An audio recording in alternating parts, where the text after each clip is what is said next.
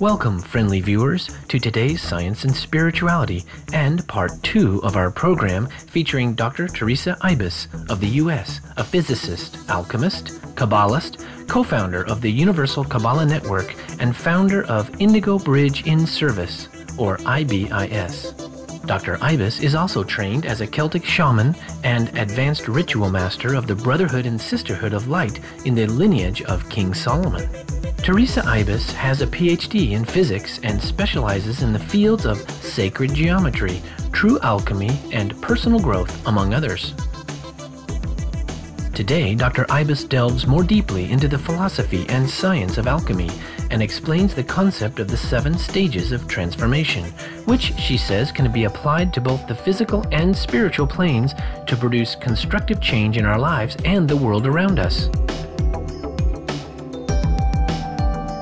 Alchemy is is the study of and the science and art of transformation. So how we can transform anything from a base state to a more elevated or perfected state.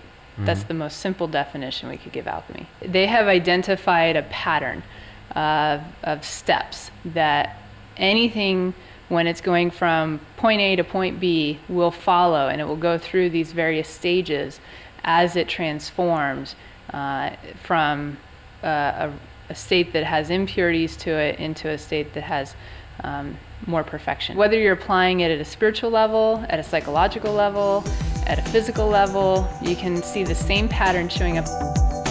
Dr. Ibis says that alchemy's roots may be traced to Europe and Asia, and that both the Western and Eastern schools of alchemy employ the same underlying formulas because both are based on observing natural processes and how nature transforms mind and matter.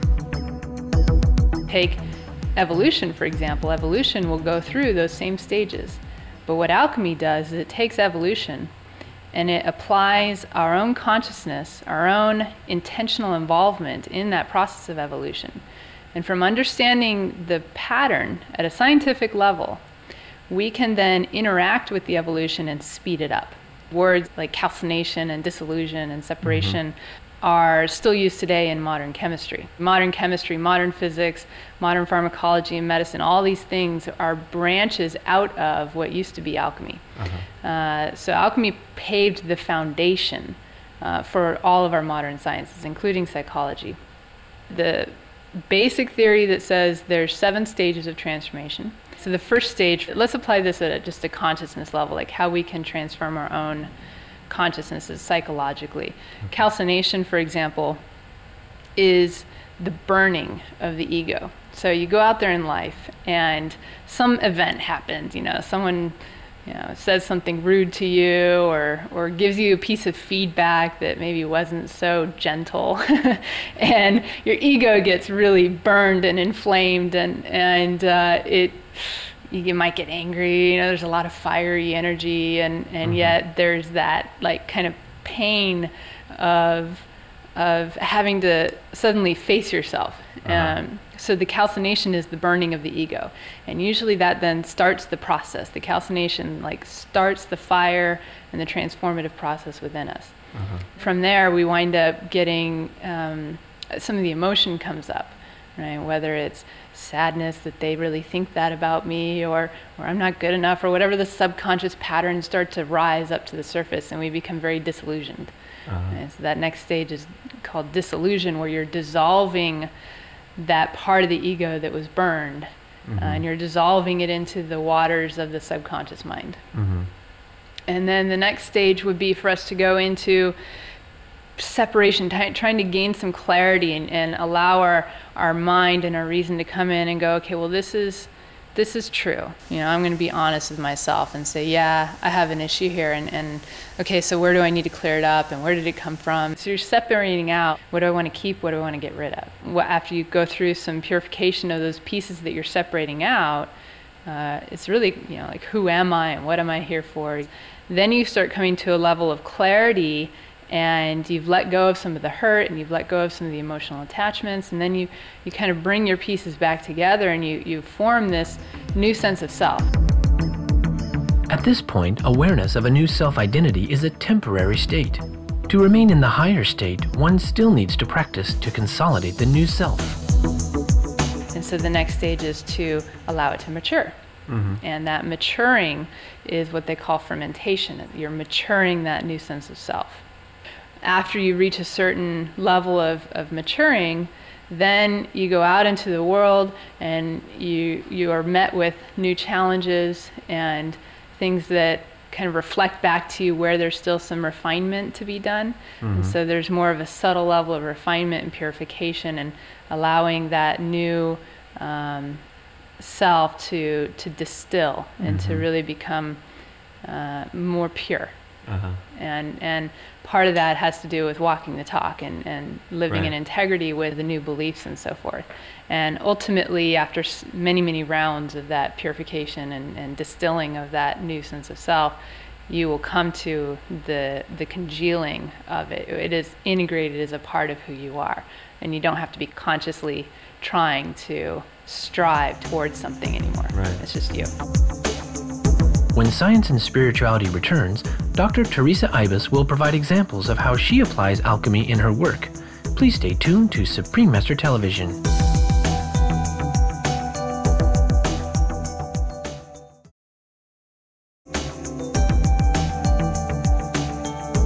Welcome back to Science and Spirituality, where Dr. Theresa Ibis is discussing how she applies alchemy, the ancient science and philosophy of transformation, to her work. My work with alchemy, um, for the most part, has been in the spiritual realm uh-huh. to help people uh, not only to improve their own spiritual life, but to improve their lives in general at a real practical level. You know, taking those principles and applying them into life, applying them into your job and into your relationships and and um, into your own personal growth. I have also done work with uh, creating herbal elixirs mm-hmm. and working the alchemy pro- um, processes on plants and, and so forth.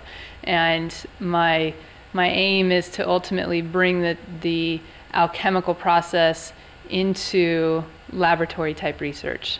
Uh, mm-hmm. Not just for working with herbs to create medicines, for, but for really bringing in uh, scientific research guided by alchemical principles mm-hmm. and methods. Uh, I think that using these methods, we can really start to take our technologies to a level that is more holistic, more sustainable, more beneficial, mm-hmm. and create new ways to, to tap into energy that is all around us mm-hmm. in, the vacuum and, and uh, bring that energy forward in a way that, that can help us to unpeg from the oil uh, dependency that we have. Dr. Ibis says that, like her, many others around the world are also working to advance society and science through alchemy. So, yeah, we had uh, the Alchemy Conference uh, last October. Uh, we had Dr. Emoto and Don Miguel Ruiz and Nassim Haramein. We had a really amazing people come forward to, to speak and to share from the different approaches how that process of transformation is being applied, um, right. whether it's into individual lives or at a scientific level, and how we can become aware of we're really at this amazing time on the planet. We're at this like event horizon of making another big leap forward in our scientific theories and how we relate to uh, or apply those into our lives and and the paradigms that we embrace mm-hmm. for what we're here for and, and what role we play in the grand scheme of things. Are we separate or are we connected? Is it just a materialistic world or, or is there you know, this side where we actually have an active role to play in how things yes. you know, manifest? Through high resolution photographs of frozen water crystals, Dr. Emoto has shown that prayer, blessings, and strong feelings physically change the crystalline structure of water molecules. And since the human body is largely composed of water, Dr. Emoto's fascinating discovery implies that our thoughts and emotions have a direct impact on our overall health. I think that Dr. Emoto has um, done an amazing thing for the planet to just bring awareness and some form of um, visual representation Right. of how energy really does translate itself into the patterns that we see in nature and into the way that that macroscopic, you know, things grow, like the water, and how water really holds memory and is is very receptive and susceptible to the energy that is that is exposed to it. I think that he's done a, an amazing job because we're 70% water and our earth is 70% water and if we can start becoming more conscious of how our energy and our thoughts affect that water and mm-hmm. affect us, Yeah. you know, uh, it's, it's great good. Dr. Ibis would like to redirect the current course of scientific thinking so that all research is done with a pure, noble purpose in mind.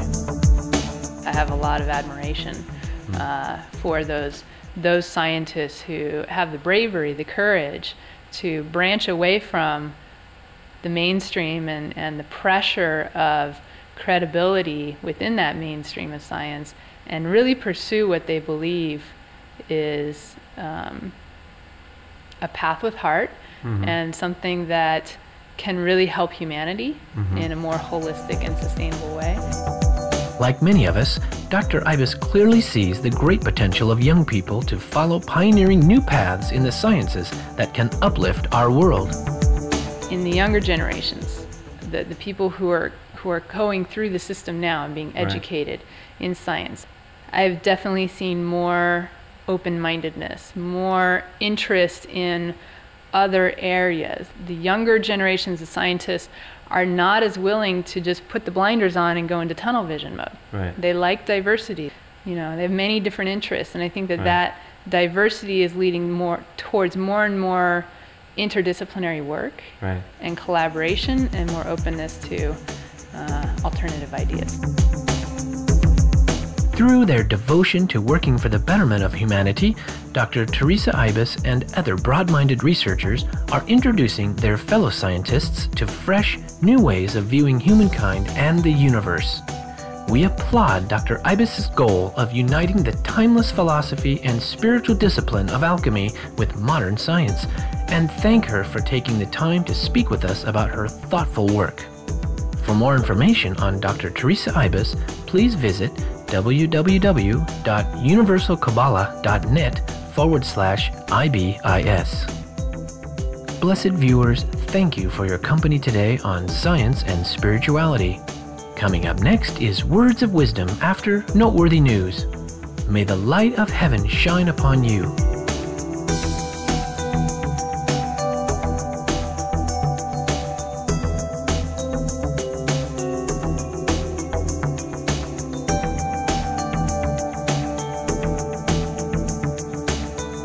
For more details, please visit www.suprememastertv.com forward slash SS